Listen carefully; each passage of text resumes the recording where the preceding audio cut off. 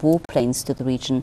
Ankara accuses Damascus of firing mortar shells into Turkish territory and has frequently shelled targets inside Syria in what it calls retaliatory measures.